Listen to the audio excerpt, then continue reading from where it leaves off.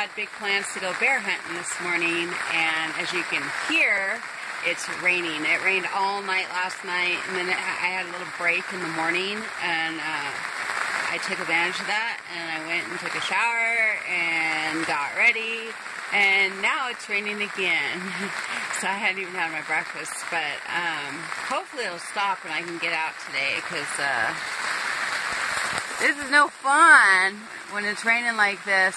Poor Posse and Ranger are outside.